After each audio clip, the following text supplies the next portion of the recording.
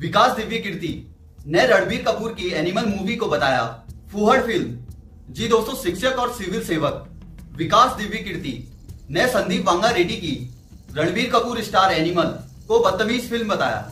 उन्होंने कहा कि यह फ़िल्म बननी ही नहीं चाहिए। थी विकास दिव्य कीर्ति ने हाल ही में आई फ़िल्म ट्वेल्थ फेल में काम भी किया है। उन्हें उनकी रियल लाइफ की तरह इसमें भी टीचर दिखाया गया है। अब उन्होंने एनिमल की आलोचना करते हुए इसे समाज को 10 साल पीछे ले जाने वाली फ़िल्म कहा है? जी दोस्तों, एक इंटरव्यू में विकास देवी कीर्ति ने रणबीर कपूर, स्टार को फुअड़ और बदतमीज बताते हुए कहा, एनिमल जैसी फ़िल्में हमारे समाज को 10 साल पीछे ले जाती है। इस तरह की फ़िल्म बननी ही नहीं चाहिए थी। आपने पैसा कमा लिया, आपने दिखाया कि आपका हीरो जानवर की तरह बर्ताव करता है। कुछ सोशल वैल्यू होनी चाहिए। या लोग सिर्फ़ पैसे के लिए काम कर रहे हैं? उन्होंने फ़िल्म के उस सीन के बारे में भी बात की, जिसमें रणबीर कपूर का किरदार, तृप्ति डिमरी के किरदार जोया से जूता चाटने को कहता है। इस सीन की खूब आलोचना हुई थी।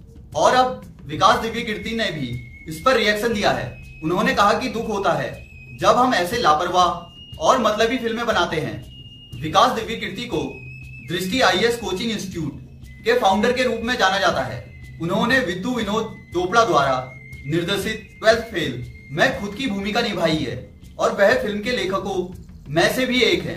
जी दोस्तों, अगर बात फ़िल्म एनिमल की करें तो भले ही इसे लोगों की आलोचना का सामना करना पड़ा था, लेकिन बावजूद इसके, फ़िल्म ने ग्लोबल बॉक्स ऑफ़िस पर 900 करोड़ का बिज़नेस किया था। फ़िल्म में रणबीर कपूर के अलावा बॉबी देओल की एक्टिंग को भी खूब पसंद किया गया था। तो दोस्तों, विकास सर की बात से आप कितना सहमत हैं? अपनी राय कमेंट में बताइए। और ऐसे ही लेटेस्ट अपडेट के लिए जुड़े रहें, चैनल को सब्सक्राइब करें, लाइक करें, शेयर करें, कमेंट करें। जय हिंद, जय भारत।